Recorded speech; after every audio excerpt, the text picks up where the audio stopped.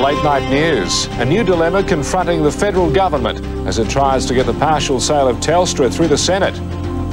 Thousands turn out to welcome the Dalai Lama as he begins his two week tour of Australia. And bitter disagreements as voting ends in Bosnia's first elections since the Civil War. The Late Night News with George Donikian. Good evening. First tonight, the new dilemma for the federal government.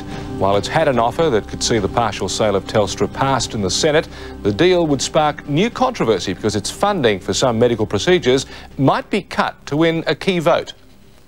Independent Senator Brian Harradine wants abolished Medicare payments for abortion, IVF programs and family planning clinics. According to newspaper reports, Senator Harradine has recently sent his wish list to Prime Minister Howard.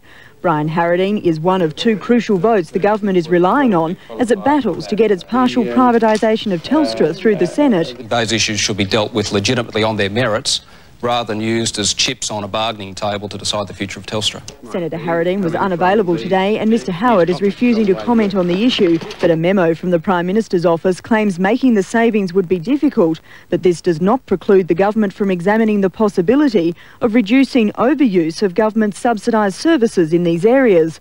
And there's already strong support from one cabinet minister. I've made it very clear over the years I'm much opposed to abortion on demand. Now, these are matters which has been the subject of correspondence with the Prime Minister, with the Minister for Health. And following Telstra's better than expected profit of $2.3 billion, the Australian Democrats claim the government now has an unbudgeted windfall of 840 million and doesn't need to sell a third of Telstra to pay for its environment policy. It can stay in public hands and it's earned enough money to pay for the Environment Fund. What a bonus. Minister Richard Alston says the coalition achieved a mandate at the last election to sell Telstra and will continue to do so.